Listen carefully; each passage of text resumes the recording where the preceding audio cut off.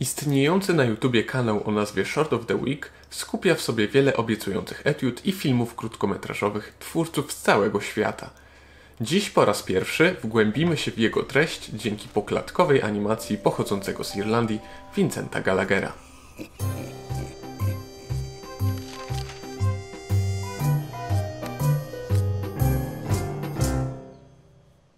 Siedmiominutowy short prezentuje historię dwóch bliźniaków. Mimo, że urodzili się w odstępie zaledwie jednej minuty, wydaje się, że ta właśnie minuta zdeterminowała życie obu z nich. Starszy z braci, Herman, wiedzie spokojny i szczęśliwy żywot emeryta z tytułem najstarszego obecnie żyjącego człowieka na świecie. Po drugiej stronie płotu i barykady znajduje się Frederick, niespełniony i nierozumiany wynalazca, złowieszczy cynik od zawsze żyjący w cieniu brata bliźniaka. Młodszemu z braci chyba na wieczność przypisany jest numer dwa. Pod tym względem mógłby przybić piątkę z Adasiem Miałczyńskim. Całe życie ciągle drugi. Nawet jak gdzieś pierwszy byłem, czułem się jak drugi, kurwa.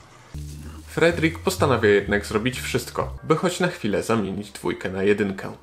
A że w koncepcie słowa wszystko mieści się także pojęcie zabójstwa, Gallagher szykuje nam iście groteskowy seans.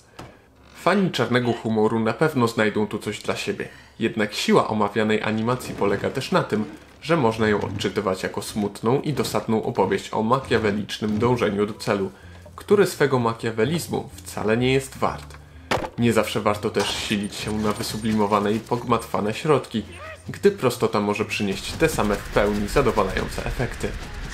Kolejną istotną wartością jest dbałość o detale całego produkcyjnego zespołu. W końcu to nie przypadek, że w dniu 110 urodzin obaj solenizanci mają na głowie korony.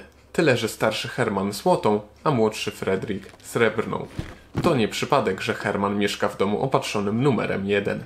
To wreszcie nie przypadek, że ogródek Hermana pełen jest zielonej trawy i roślin wygrywających konkursy, a Fredrik zamiast analogicznego ogródka posiada bury chodnik, rozrzucone przedmioty i parę chwastów rosnących przy płocie. Najlepsze podsumowanie stanowi jeden z komentarzy pod filmem.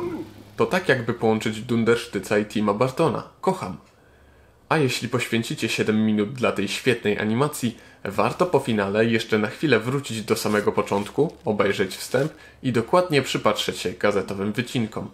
Mi osobiście udało się odnaleźć przynajmniej jeszcze jeden easter egg, mniej więcej w środku filmu. Jeśli wy znajdziecie coś ciekawego, podzielcie się tym w komentarzu. Do następnego.